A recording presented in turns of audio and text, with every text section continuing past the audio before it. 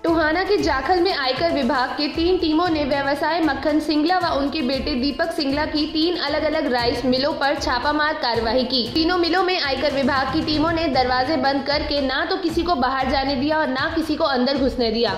समाचार लिख जाने तक विभाग की कार्यवाही जारी थी। इस कार्यवाही से व्यापारियों में हड़कंप मचा हुआ है। जब आदेश आएँगे हम बता देंगे केस का तो ठीक है कोई बात नहीं हमारे नहीं आम पब्लिक जैसे तो अंदर आम है। आम पब्लिक जैसे अंदर है।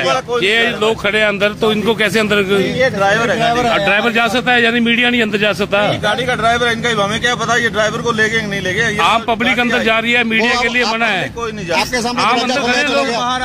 अंदर टोहाना से सुशील सिंगला की रिपोर्ट। समय समय पर ताज़ा खबरों के लिए देखते रहिए यस टीवी।